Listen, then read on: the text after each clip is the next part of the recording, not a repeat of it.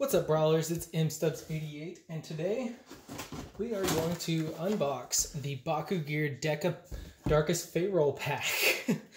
um, it's a Target exclusive. Uh, if you're pretty hyped for this, go ahead and give me a thumbs up on uh, that like button thing. Smash it. Yeah, just smash that. Um, and um, tell me what you think about these Target only um, exclusive Bakugan sets. I think they're pretty sweet. Um, so I'm hyped. This is my first um, Battle Planet, Armored Alliance, whatever, uh, reboot. There we go. Uh, Deka. So let's tear straight into this.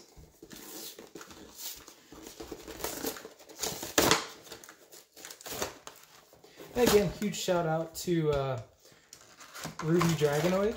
Um, he actually sent this uh, to me for my birthday. So um, everybody knows I love, well, probably not everybody, but I really like Darkus Pharol um, because it was the Darkus Bakugan that I used in my uh, in my deck from uh, the Invitational. So let's roll this thing.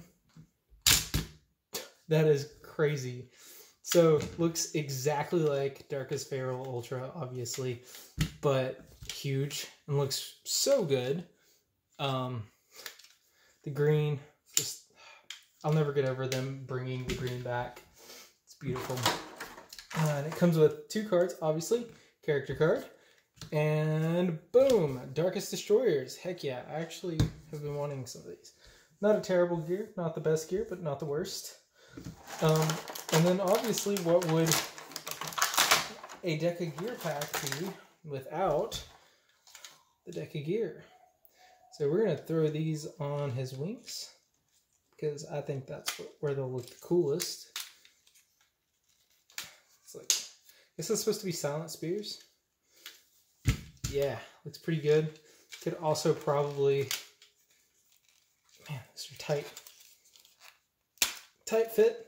Um, so you don't have to worry about them falling out. Um, I feel like it'd look pretty cool here too if you were to just do like one.